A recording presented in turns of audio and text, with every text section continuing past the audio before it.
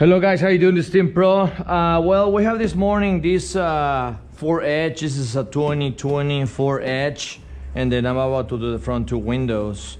So well, I already moved the socket and the cover over here. I'll show you with the other door, and then just about to remove the sweep.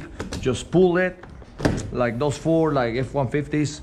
Pull it, and then lift the sweep, come out, and that's about it. So as easy as that. So let's go to the other side that way I can see I show you exactly.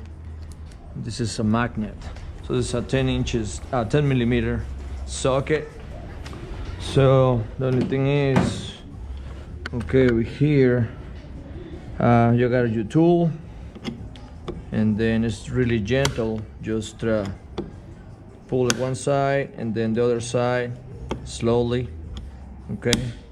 And then just pull it right off okay? It's got this these two they go right here. So just slowly slice it down it will come off.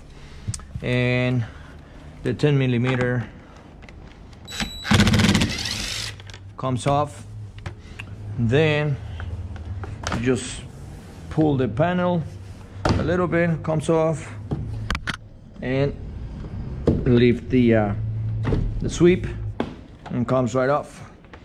All right then you can actually do use your cover protect your panel and then do your full installation and you're good to go. All right guys well this is a 2020 Ford Edge sweep removal of the two front windows. Y'all have a good day. Tint pro go pro stop recording